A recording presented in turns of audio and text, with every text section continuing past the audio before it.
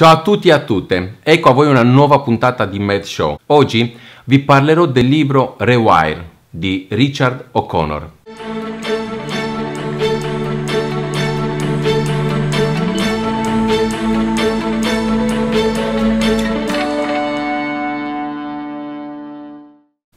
Rewire parla del perché a volte finiamo per avere dei comportamenti autodistruttivi e di come superarli. È un libro che scava nell'attività del cervello che è presente dietro le dipendenze ed evidenzia le strategie per rivalutare se stessi in modo da ottenere un migliore autocontrollo sulle proprie cattive abitudini. Ci siamo passati tutti. Fai qualcosa in maniera quasi inconscia e poi capisci quanto era stupida e vorresti tornare indietro. A volte non causa danni come un errore di spelling, ma altre volte ha delle gravi conseguenze, come fumare una sigaretta giusto per onorare i vecchi tempi. Questo può portare ad una catena di comportamenti distruttivi, non solo più sigarette, ma anche rabbia, odio verso se stessi e un senso di colpa. La verità è che questi problemi sono comuni a tutti noi, anzi fanno parte di ciò che ci rende umani. In Rewire Richard O'Connor spiega i motivi per i quali facciamo questi errori e le connessioni che avvengono nei nostri cervelli. Connessioni che fanno in modo che non solo li compiamo, ma li compiamo anche spesso.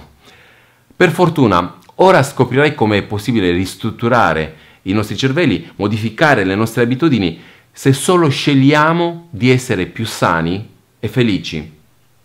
In questo video imparerai perché facciamo cose di cui poi ci pentiamo, perché tendiamo a incolpare i nostri difetti dicendo che noi siamo semplicemente umani e come superare la dipendenza.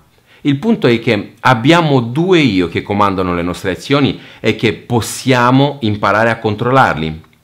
Ecco un'esperienza che sicuramente ti è conosciuta. Hai davanti due scelte sai qual è quella giusta, ma scegli quella sbagliata. Perché lo facciamo? È perché abbiamo davvero due identità, una conscia e una automatica. Entrambe influenzano le nostre, le nostre decisioni. L'identità automatica agisce senza il nostro controllo, almeno quello diretto, è ciò che ti influenza quando ti mangi un intero pacchetto di patatine mentre guardi la tv. L'identità conscia usa invece il pensiero razionale e il ragionamento. Quando decidi di provare mm, un nuovo piatto per la prima volta, è l'identità conscia che sta agendo. Di solito quando fai qualcosa di cui ti penti è perché agisce il tuo io automatico e quello conscio non sta proprio considerando le conseguenze. Mangi quelle patatine senza pensarci. Quindi se vuoi superare qualsiasi cattivo comportamento, devi allenare il tuo io automatico a smettere di peggiorare le cose. Rafforzare il tuo io conscio ad essere più presente è utile, ma educare il tuo io automatico è più efficace. Il cervello può cambiare anche fisicamente. Puoi decidere i modi in cui il tuo cervello si sviluppa e come condizionare il tuo comportamento. Il nostro cervello crea costantemente nuove cellule e nuovi collegamenti fra di loro. Infatti è stato scoperto, è stato dimostrato che l'apprendimento causa la crescita di nuove cellule, il nostro comportamento influenza la crescita delle cellule del cervello e quindi la sua funzionalità. Quando fai ripetutamente un'azione, le tue cellule nervose creano sempre più connessioni tra di loro. Ad esempio, andare in palestra eh, neuroconnessione A si collegherà a restare in palestra fino a quando finisce l'allenamento, neuroconnessione B. Continuando sempre così, questo, di, questa diventerà un'abitudine. Le neuroconnessioni A e B saranno sempre più collegate. Quindi, sviluppando buone abitudini, rimpiazziamo le cattive abitudini. Devi cambiare le tue abitudini automatiche da negative a positive. Non è sempre facile cancellare le cattive abitudini nel nostro sistema automatico. Il nostro io automatico ha molte abitudini, alcune che ci fanno bene e altre male. Le abitudini si creano quando eh, i modelli ripetuti di comportamenti diventano normali e formano nuovi percorsi nel cervello. Impariamo le nostre buone e cattive abitudini in maniera inconscia. Una cattiva abitudine potrebbe essere guardare la tv uh, e mangiare le patatine dopo il lavoro invece di andare in palestra. Una buona abitudine potrebbe essere lavarti i denti. Alcune abitudini, come il fumo, sono totalmente negative. Altre volte, però, le abitudini che pensiamo siano buone sono in realtà distruttive. E avere dei pregiudizi, per esempio, porta ad avere delle cattive abitudini con l'inganno. Ciò influenza il modo in cui ci vediamo e percepiamo il mondo. Pensiamo di essere responsabili delle nostre qualità, ma incolpiamo il mondo esterno per i nostri difetti. Ad esempio, immagina un uomo che guarda in maniera ineducata tutte le donne che incontra. Potrebbe giustificare il proprio comportamento dicendo mm, sono solo un uomo e è nella mia natura. Questo potrebbe far sembrare che non sia colpa sua, ma se si comporta bene al lavoro, penserà che sia grazie alla sua dedizione e alla sua perseveranza, non perché è fortunato di trovarsi in un ambiente di lavoro che lo supporta in un'azienda in crescita, per esempio. È interessante notare che le persone più felici e sicure di sé hanno la convinzione di essersi guadagnati la propria felicità e sicurezza. Questo è ottimo e allo stesso tempo può anche essere dannoso, perché esiste il rischio di distorcere la realtà. Se qualcuno diventa troppo sicuro delle proprie capacità, potrebbe smettere di mh, mm, tentare, smettere di migliorarsi, tendiamo ad ignorare qualsiasi cosa vada contro le nostre condi- convinzioni. Allora, convinzioni. Le nostre convinzioni si rafforzano da sole. Se senti dire che una persona non è intelligente prima di incontrarla, è molto probabile che tu la percepisca così quando la incontrerai realmente. L'opposto potrebbe verificarsi se la persona ti viene presentata come un professore questo tipo di pregiudizi agisce inconsciamente, quindi di solito non viene corretto dall'io conscio. Al contrario, facciamo gli stessi errori senza aver scelto di farli. Le emozioni represse ci fanno per esempio diventare autodistruttivi. Sai che una teiera deve far fuoriuscire il vapore, giusto? Ecco, le situazioni, le emozioni funzionano nello stesso modo. Anche loro sono reazioni chimiche, si accumulano e hanno dei punti di rottura. Le emozioni negative, come la paura, la rabbia e la colpa, possono farci cadere in comportamenti autodistruttivi. Quando cerchiamo di reprimere queste emozioni, esse troveranno il modo di fuoriuscire in un altro modo. Le emozioni sono semplici reazioni alle cose, come ritirare la mano è una reazione al tocco di un fornello caldo. Le emozioni quindi non possono essere sbagliate, dato che non sono basate sulla razionalità. Tuttavia, a volte pensiamo che siano sbagliate, cosa che ci causa più senso di colpa, rabbia o frustrazione Pensare che le tue emozioni siano sbagliate può causare comportamenti autodistruttivi. Il comportamento autodistruttivo è un risultato del fatto che le nostre due menti non comunicano fra di loro. Le nostre identità conscia e automatica a volte ci danno dei consigli contrastanti che possono causarci non pochi problemi. A volte l'identità conscia sa che un'azione è sbagliata, ma l'automatica la fa lo stesso. Questo non è sempre negativo. La rabbia, per esempio, può essere una cosa positiva se stai proteggendo te stesso o una persona cara. Può darti mm, coraggio se, se hai troppa rabbia repressa, però, puoi sottovalutare i rischi o non considerare i pericoli. Questo potrebbe portarti a prendere delle decisioni affrettate. Se sei arrabbiato sul lavoro, per esempio, potresti scrivere una mail senza pensare. Tuttavia, Se qualcuno entra in casa tua, la rabbia potrebbe darti il coraggio di prendere una mazza per difenderti. La rabbia repressa, invece, si accumulerà. Molto probabilmente finirai per sfogarla su una persona a cui ci tieni, trattandola male o abbandonandola. Farlo può farti sentire in colpa, facendoti poi odiare te stesso. E l'odio è un'altra emozione dannosa repressa. Il comportamento autodistruttivo può anche essere conseguenza di un bisogno di attenzione, insoddisfazione generale o mancanza di motivazione per sistemare i problemi. C'è un altro motivo per il quale siamo a volte autodistruttivi. Stiamo cercando aiuto. A volte l'io inconscio comincia a causarti problemi cercando l'attenzione nella speranza che qualcuno venga a salvarti. Le persone spesso hanno problemi col cercare aiuto perché hanno paura di essere rifiutati, di essere giudicati. Lo cercano quindi in maniera più sottile. Richard O'Connor, l'autore di questo libro, una volta conobbe un ragazzo di 16 anni che aveva problemi con la marijuana.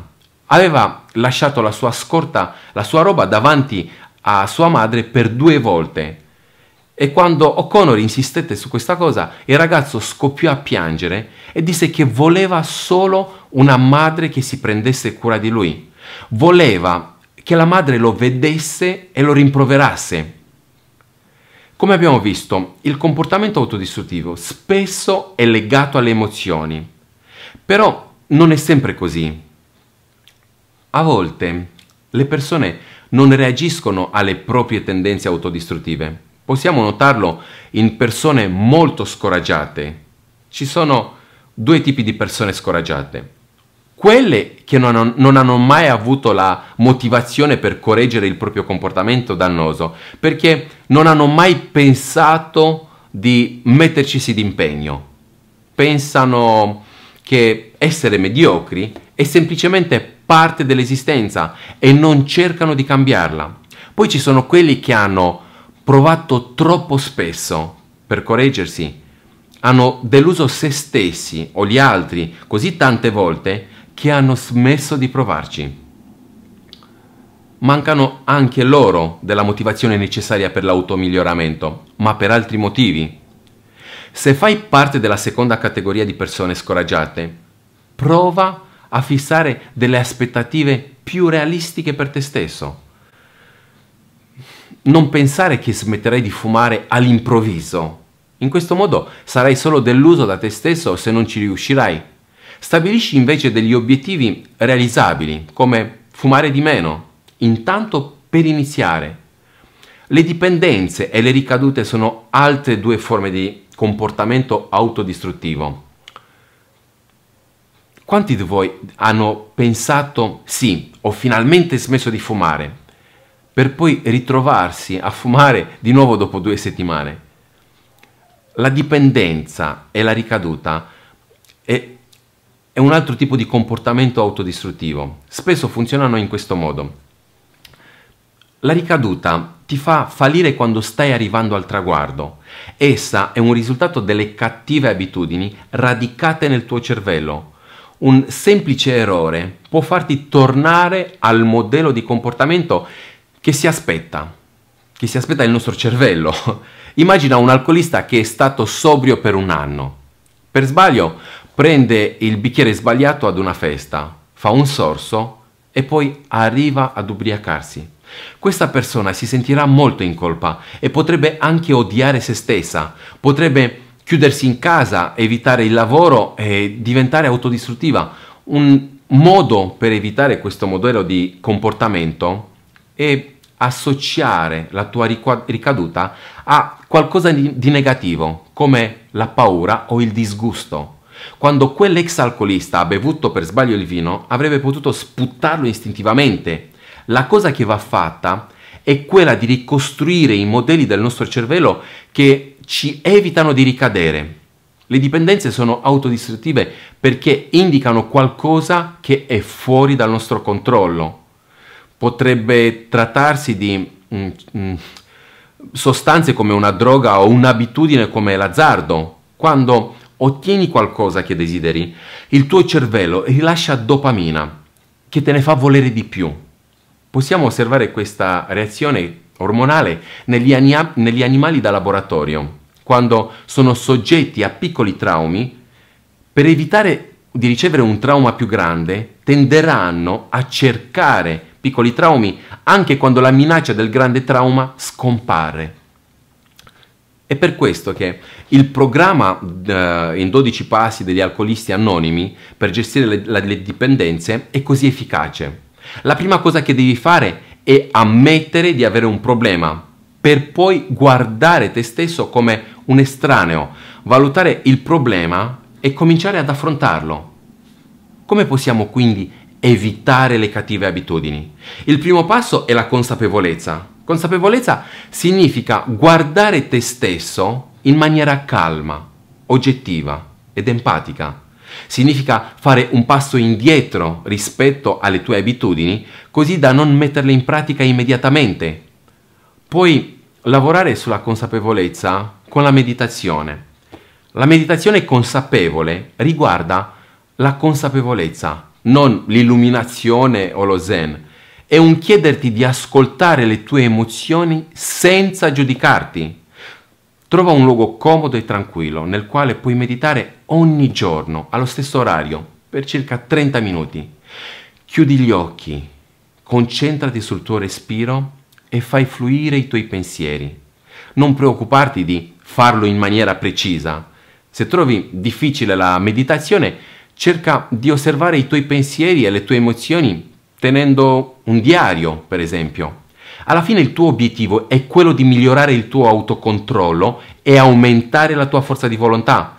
Se lo fai in maniera continuativa, l'autocontrollo diventerà parte del tuo io automatico, non solo del tuo io conscio. Reimposterai il tuo cervello. Questo è ciò a cui gli alcolisti anonimi si riferiscono quando dicono fake it till you make, fingi fin quando non lo fai. Eliminare una dipendenza è difficile all'inizio, ma gradualmente questo richiederà meno sforzo, dato che più, diventerà più automatico. Fake it till you make, fingi fin quando non lo fai, si applica anche ad altre cose. Ehm, anche far finta di essere gentile ti renderà più gentile. Ti sentirai bene con te stesso e continuerai a fare cose in maniera gentile fino a quando non diventerà un'abitudine. Poi ci sono anche altri modi per aumentare la tua forza di volontà. Mangia in maniera più, più sana, così il tuo cervello funzionerà meglio. Continua sempre ad educarti e punisciti in maniera leggera se necessario. Se riesci ad associare uno stimolo negativo alla tua tentazione, comincerai a sentirlo sempre meno. Dopo aver raggiunto più consapevolezza e autocontrollo, ti sarà d'aiuto anche costruire relazioni più forti con persone positive, essere circondato da altre persone sane con modi di pensare sani, significa dare la possibilità al tuo autocontrollo di spianare la strada ad abitudini positive automatiche. In conclusione, ricorda che ti fai sottomettere dalle tue cattive abitudini quando il tuo io automatico ripete un comportamento senza una tua scelta conscia verso ciò che è meglio per te. Con la consapevolezza e la dedizione puoi reimpostare il tuo cervello, così da poter sostituire le cattive abitudini con delle buone abitudini. Medita, osservati e fingi fin quanto non lo fai. Fake it till you make. Conosci te stesso. Il primo passo per Distruggere le cattive abitudini è guardare te stesso come uno sconosciuto e riconoscere il tuo comportamento autodistruttivo. Medita e presta attenzione ai tuoi pensieri e alle tue emozioni. Più le capisci, più facile sarà il tuo percorso. Sono Andrei. Se ti è piaciuta questa puntata e pensi di aver trovato degli spunti da applicare nella tua vita, condividi e lascia un commento. Come sempre, scegli di rendere la tua vita straordinaria, vivi ogni giorno pienamente e fai la tua differenza oggi.